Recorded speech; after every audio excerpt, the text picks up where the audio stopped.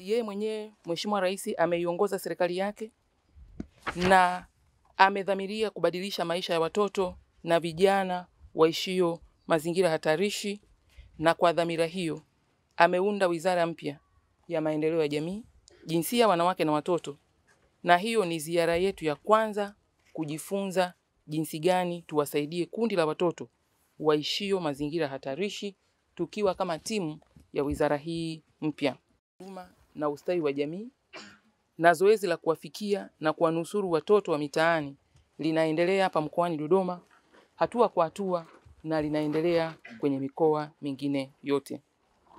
Ndugu wananchi na wafiwa, tukio hili la kusikitisha linatufundisha kuwa ndoto za watoto wengi zinapotewa tangu wakiwa watoto kwa kujikuta wameingia kwenye mkondo hasi wa mfumo wa maisha ya mitaani.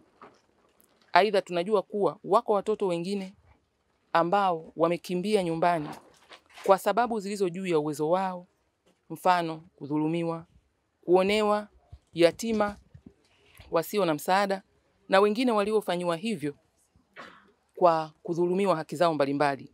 Hivyo serikali tutawasaka hadi tuwapate wengine wanaofanya hivyo na kusababisha watoto hawa kukimbilia mitaani. Hata hivyo, watoto wengine wako mtaani kwa sababu pengine za kujitakia tu, wakiamini kwenye maisha ya haraka haraka. Kwa upande mwingine, wako watoto wameishi mitaani miaka mingi kiasi kwamba hata wakiitiwa fursa zingine za kuwatoa kwenye maisha hayo hawataki, wana maana wameshaathirika na maisha hayo. Mfano mzuri ni huyu mtuhumiwa na wenzake wengine waliotoroka. Matokeo yake inatimiza ule msemo wa wahenga kwamba mkata vijana na watoto wa taifa hili mtakaotusikia, mtaani sio kuzuri. Kuna kila fursa za uovu ambao mwisho wake ni magonjwa, ulemavu, adhabu za kisheria na mbaya zaidi hata mauti. Hata kiongozi leo amesema hapa kwenye eneo hili kumekuwa na mambo mengi yakijitokeza, lakini jamii ipo, tuna jambo la kufanya sote kwa pamoja. Nawapa pole wafiwa, ndugu, jirani na marafiki kwa msiba huu mzito. Ni dhahiri marehemu naye alitamani maisha mapya, na ndio maana kulikuwa na wadau wengi wanahangaika kubadilisha maisha yake, lakini imempendeza Mungu, safari yake imeishia hapa.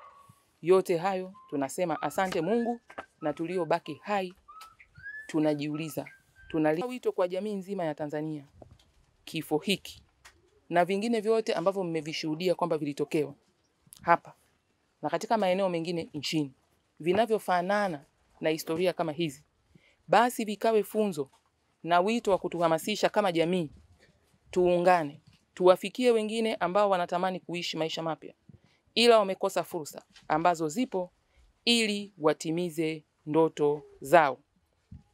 Kwa kufanya hivyo, vitendo kama hivi vya ukatili vitapotea. Aidha, sisi ndio wa kuzitengeneza fursa hizo. Tukumbuke kuwa maisha ya mtaani yanawafundisha watoto mambo mengi mabaya na ya uovu. Hatuwezi kuwa jamii salama tukizungukwa na watoto wasio na fursa za makuzi mema huko mitaani. Matokeo yake, hata pale serikali au wadau wanapowafikia kwa ajili ya kuwapa maisha mapya, wanatupilia mbali fursa hizo. Wanakuwa wanatamani maisha ya mtaani kwa sababu wamekuwa wakikua kuanzia wadogo wakiyaishi na hawajui maisha mengine. Lazima tutamani kuwaokoa wakiwa wadogo kabla hawajadhani kwamba wamekuwa wakubwa kiasi cha kuamua kwamba yale ndio maisha yao. Serikali ya Rais Samia Suluhu Hassan mmeisikia kila siku inatenga fedha mpaka za mikopo mpaka za kusomesha kuanzia chekechea mpaka huko juu bure. Tunakwama wapi wa Tanzania kama miongozo ndio hii tunapewa? Mimi ningetamani kujua kamati hii muhtasari wake uko wapi? Mtendaji huyu wa serikali ya kijiji na mtaa ana daftari, ana orodha ya watoto, alikuwepo huyu kwenye hiyo orodha. Je, mitasari yake iko wapi? Je, walijadili nini? Wana watoto wangapi? Wamewasilisha wapi? Tufanye nini? Hatuwezi kuwa wazazi ambao tunapishana na watoto mitaani kwa sababu mama zao wamekufa, alafu tunakubali, tunakubali. Wanakosa malezi, kesho wanachomana visu, watakuja kutuchoma na sisi. Hii siyo haki. Kupitia huu msiba, lazima tukae chini, tutafakari tunafanya nini. Kupitia misiba yote mlioitaja, lazima viongozi wa serikali za kijiji, muongozo huu mtembee nao. Taifa hili haliwezi likawa kila siku tunashuhudia ukatili unafanyika na kamati zipo, vitabu vimeandaliwa, alafu ukishuka chini kuna mtu hajatimiza wajibu wake. Hiyo hapana. Ndio maana tumekuja kama serikali, tumeguswa, imetuumiza msiba huu. Mungu ametaka pia kusema na sisi kama jamii, tukumbuke mifumo tuliyojiwekea ifanye kazi, na Mungu atabariki kazi za mikono yetu